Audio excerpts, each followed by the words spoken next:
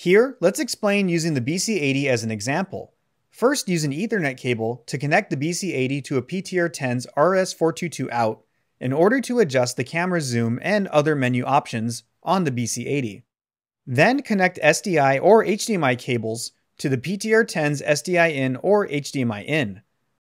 To allow the PTR10T to supply power to the BC80, use a power cable to connect between DC outs of the two devices.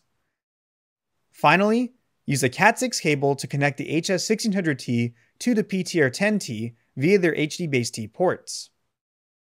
The HD-Base-T technology allows you to adjust the PTR10T's pan and tilt as well as the BC80's zoom, focus, iris, and white balance on the HS1600T's camera control panel.